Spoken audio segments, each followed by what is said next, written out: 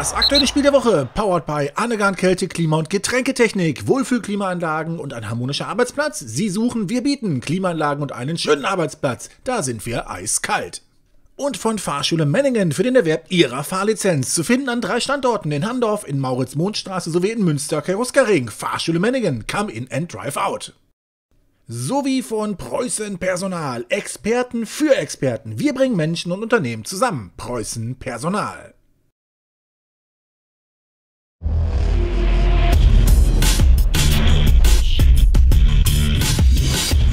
Hallo Fußballfreunde und herzlich willkommen zum aktuellen Heimspiel Spiel der Woche. Heute auf dem Programm die Kreisliga A1 in Münster, Spieltag Nummer 8.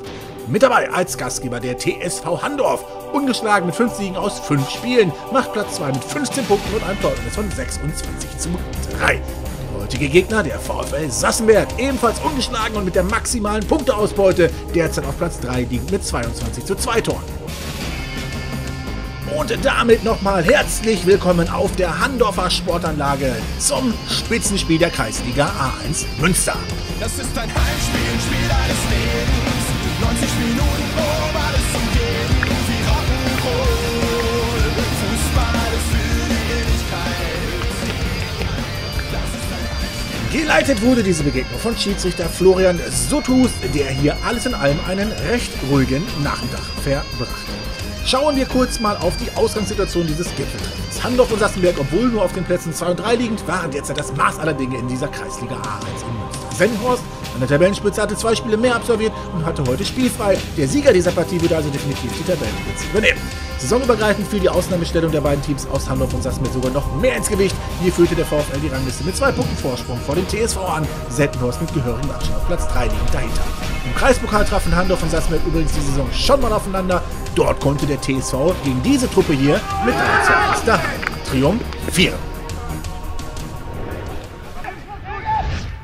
Und damit rein in die Partie. Die Gäste aus Sassenberg in den orangefarbenen Trikots von rechts nach links spielend, waren von Beginn an bissig in den Zweikämpfen und versuchten Handorf früh unter Druck zu setzen.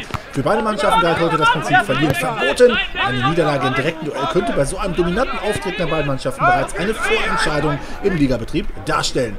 So, nach Flugball von Gästekapitän Stefan Wortmann in die Spitze konnte Daniel Langbitz in Minute 6 den ersten Torschuss der Partie für seine Farben beanspruchen.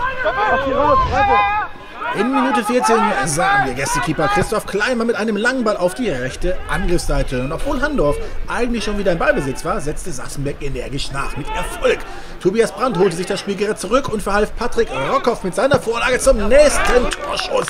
Es bestand allerdings keine Gefahr für das von Tom Hoffmann gütete TSV-Tor. In Spielminute Nummer 18 dann der TSV Handorf mit seiner ersten Offensivaktion. Konrad Knemöller hatte sich das Spielgerät für einen Freistoß aus dem linken Halbfeld zurechtgelegt. Und seine Hereingabe landet im Zentrum irgendwie bei Schürmann und gehalten von Kleimann. Ganz dicke Chance für die Gastgeber hier. Laurenz Schürmann scheitert mit einem Kopfball aus kürzester Distanz an VfL-Schlussmann Christoph Kleimann. Hier kommt die Wiederholung. Das ging so wahnsinnig schnell im 5-Meter-Raum und da packt der Kleimann einfach mal eine kleine Sensationsparade aus. Hier aus einem anderen Blickwinkel in halber Geschwindigkeit. Kaum zu erkennen, wie Kleimann mit dem Fuß den Kopfball von Schürmann abwehren kann. Und von dieser Kameraperspektive ist es dann etwas besser zu sehen. Schürmann gegen die Laufrichtung von Kleimann und die hat einfach den richtigen Riecher und wird sensationell und mit etwas Glück aus weniger als einem Meter Entfernung ab. Chapeau, hätte die Führung für den TSV sein können oder vielleicht sogar müssen. So aber weiter 0 zu 0 im Spitzenspiel der Kreisliga A1 in Münster. Danach war hier lange Leerlauf angesagt, sodass wir in Minute 33 vorspringen können. Die Gäste aus Sassenberg waren hier weiter das aktivere Team und so kam die von Patrick van der Sanden gecoachte Mannschaft durch Kapitän Stefan Wortmann zum nächsten Torschuss nach Vorarbeit von Gianluc Klemko. Wieder fehlte die berühmt-berüchtigte Präzision im Abschluss. Kurz vor der Pause kamen die Sassenberger dann doch zu ihrem ersten Schuss auf das gegnerische Tor. Einwurf Brandt, dann Rockhoff, der setzt hier nochmal nach und dann Wortmann auf Klemko. Der überlässt Rockhoff den Ball und schließlich ist es Tom Hoffmann im Kasten des TSV, der sicher zupackte. Zugegeben, Torgefahr sieht anders aus.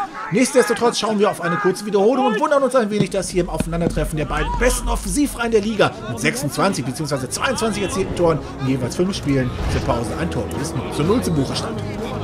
In der Halbzeitshow wurde den anwesenden Zuschauern mehr Action geboten als auf dem Platz. Das war schon ein wenig ernüchternd. Aber hier trafen neben den besten Offensivreihen eben auch die besten Defensivreihen aufeinander und die taten natürlich ihr Bestes, um die gegnerischen Angreifer in Schach zu halten. Bisher gelang dies beiden Abwehrverbänden wirklich sehr, sehr gut. Da wurde auf beiden Seiten so gut wie nichts zugelassen. Hier mal ein Blick auf die Statistik. 1 zu 1 nach Chancen. Bei den Schüssen und den Eckbällen, da hatten die Gäste etwas mehr gesammelt, aber von einer Überlegenheit im Spiel konnte man dabei auch nicht sprechen. Es ging abwechselnd hin und her, aber hauptsächlich spielte sich das Geschehen dabei zwischen den beiden Strafräumen ab. Die Hoffnungen lagen also auf dem zweiten 45-minütigen Durchgang. Und den eröffnete der VfL Sassenberg. In Minute 54 hatte sich Tobias Brandt das Spielgeld für ein Eckball zurechtgelegt. Seine Hereingabe wird von Wortmann verlängert und dann streicht der Ball knapp am zweiten Pfosten vorbei ins Tor. Da war nämlich mit Moritz Westhoff noch ein Handover Spieler dran gewesen. Hier sehen wir das Ganze nochmal. Vorne kann Wortmann gegen Leser die Kugel verlängern und dann fällt Westhoff das Spielgeld mit der Hacke fast noch ins eigene Tor ab. Da hatte wahrlich nicht viel gefehlt, wie man aus dieser Perspektive gut erkennen kann. Jungs, du musst da reinfliegen! Beim nachfolgenden Eckball durch Langlitz kamen die Gäste erneut zum Abschluss. André Risse stieg zum Kopfball hoch, doch auch er setzte das Spiel recht deutlich am gegnerischen Tor vorbei. In Spielminute 62 eröffnete sich den Gästen die wohl beste Chance für den Führungstreffer in diesem Spiel. Klein mit einem langen Ball.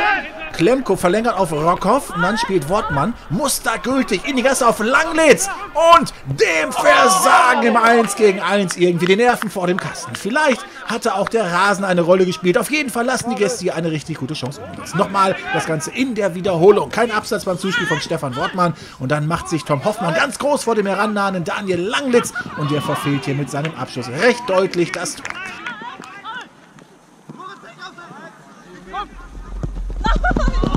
Heute war auf beiden Seiten irgendwie der Wurm drin. Es wollte nach etwas mehr als einer Stunde Spielzeit einfach kein Tor fallen. Hier in Handorf. Zwei Minuten später folgte die nächste Offensivaktion der Gäste. Brand über links, dann Klemko und der weiter zu Rockhoff. Rockhoff mit einer tollen Ballmitnahme. Rockhoff ist im Strafraum. Schürmann setzt nach und grätscht dem Angreifer die Kugel sauber und vor allem fair vom Fuß. Klasse Rettungstat von Laurenz Schürmann hier in Minute 64. Mittlerweile lief hier schon die 71. Spielminute. Wortmann von der rechten Seite mit der Flanke, dann Brand am Ball. Links bietet sich Rockhoff an. Der wird bedient. Und Rockhoff versucht es mit einem Torschuss oder einer scharfen Hereingabe. Egal, beides harmlos und eine sichere Beute für TSV-Schnapper Tom Hoffmann. Tja, liebe Zuschauer, gerne hätte ich Ihnen Tore oder zumindest viele spektakuläre Torabschlüsse gezeigt. Doch die Realität in Handorf, sie sah in diesem Gipfeltreffen dann eher so aus. Hier mal eine einstudierte Eckball-Variante, aber am Ende ist es Niklas Annegan, der das Spielgerät nicht optimal traf und in die Wolken jagte. Und solche Szenen, die häuften sich jetzt in der Schlussphase. Handorf hatte jetzt mehr vom Spiel. Julian Austermann hoch in den Lauf von Malte Stoffers, doch den verspringt der Ball, sodass Kleinmann ihn locker aufnehmen konnte. Neun Minuten vor dem Ende dann diese Szene. Nils Domen mit dem Ball in die Spitze auf Annegan. Und der ist auf dem Weg in den Strafraum und legt sich dann am Ende das Spielgerät etwas zu weit vor, sodass auch hier wiederum kein Torabschluss dabei heraussprang.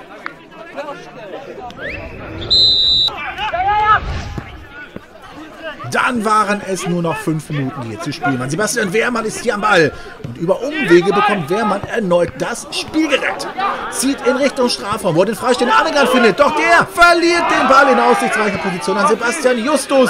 Es sollte einfach nicht sein. Dann die Nachspielzeit. Zwei Minuten zeigte Florian Sutus an, der hier insgesamt vier gelbe Karten zeigen musste, aber ansonsten einen ziemlich stressfreien Nachmittag in Handorf verbrachte. Sassenberg hatte noch einen letzten Pfeil im Köcher. Einwurf durch Alexander Brandes von der rechten Seite. Hoch und weit in den Strafen. Kopfballverlänger und dann ist Wortmann nochmal zur Stelle. Aber sein Schussversuch wird geblockt, sodass auch hier nur ein Eckball anstatt einer Torchance dabei heraussprang. Mit der Ausführung des nachfolgenden Eckballs hatte Referee Sutus dann ein Einsehen und besiegelte die torlose Punkteteilung im Spitzenspiel der Kreisliga A1 in Münster. 0-0 lautete also das Endergebnis zwischen zwei Teams, die zuvor im Durchschnitt pro Partie immer mindestens 4 bis 5 Tore erzielt hatten, aber beide Abwehrreihen dominierten das Spielgeschehen und ließen auf beiden Seiten so gut wie gar nicht zu. Deswegen stand am Ende für beide Teams am Ende die Null hin. Ein Blick auf die Statistik zeigt das Dilemma. Kaum Torchancen auf beiden Seiten. Ein kleines Chancenplus konnten sich die Gäste aus Sassenberg immerhin erarbeiten. Ich persönlich kann mich an kaum ein Spiel der Woche erinnern, wo es ähnlich wenige Torchancen zu sehen gab. So, Dann schauen wir mal, was auf den anderen Sportplätzen der Liga so los gewesen ist. West-Bevern schlägt Greffen mit 3 zu 2. Everswinkel unterliegt Ost-Bevern deutlich mit 0 zu 4. Warendorfs Reserve unterliegt daheim Behlen mit 2 zu 3. Und Hutmar geht gegen die zwei Vertretung von Münster 08 mit 0 zu 3 Baden. Wie sind die Auswirkungen auf die Tabelle? Neuer Spitzenreiter ist der TSV Handorf, weiterhin punktgleich mit dem VfL Sassenberg. Spieltagsgewinner so mit der TSV, könnte man meinen, doch in meinen Augen ist Sendenhorst der heimliche Sieger, denn die haben jetzt sowohl Handorf als auch Sassenberg nur noch drei Punkte vor sich und damit wieder in Schlagdistanz. So, damit sind wir auch schon wieder am Ende. Vielen Dank fürs Zuschauen, ihr euer Tino Wermeling. Das aktuelle Spiel der Woche, powered by Annegan Kälte, Klima- und Getränketechnik, Wohlfühlklimaanlagen und ein harmonischer Arbeitsplatz. Sie suchen, wir bieten Klimaanlagen und einen schönen Arbeitsplatz. Da sind wir eiskalt. Und von Fahrschule Menningen für den Erwerb ihrer Fahrlizenz. Zu finden an drei Standorten in Handorf, in Maurits-Mondstraße sowie in Münster, Keruskering. Fahrschule Menningen, come in and drive out. Sowie von Preußen Personal, Experten für Experten. Wir bringen Menschen und Unternehmen zusammen. Preußen Personal.